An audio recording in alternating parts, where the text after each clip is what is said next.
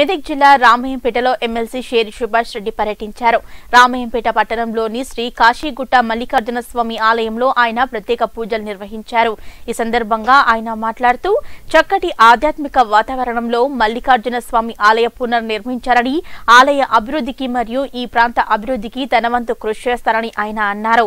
ఈ కార్యక్రమంలో MLC share Subhash రెడ్డితో పాటు జడ్పీటీసీ పంజాబ్ విజయ్ కుమార్ మరియు యాదవ సంఘం నాయకులు రాజు దేవరాజు రాములు తదితరులు ఉన్నారు. రామాయంపేటలోని పట్టణంలోని మల్లన్న స్వామి గుడికి రావడం నాకు చాలా ఆనందంగా ఉంది.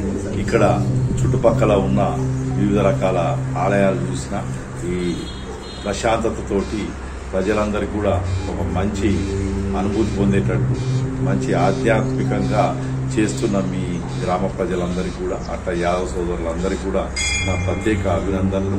అట్లాగే ఈ ఈ చుట్టుపక్కల ప్రాంత అభివృద్ధికి నా వంతు కూడా కృషి చేస్తానని చెప్పి ఏది అందరికి ఆమోదయోగ్యం ఉందో దాన్ని చూసి అందరికి కలిపి చేస్తే బాగుంటుందని నాకు అనిపించింది.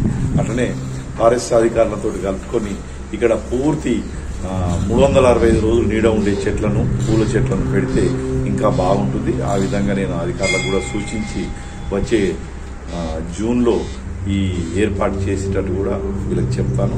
అలాగే ఈరోజు నన్ను ఆహ్వానించి ఒక మంచి కార్యక్రమానికి నన్ను పిలిచినందుకు వారందరూ కూడా పేరు పేరున కృతజ్ఞతలు తెలుపుతున్నాను అభినందనలు తెలుపుతున్నాను.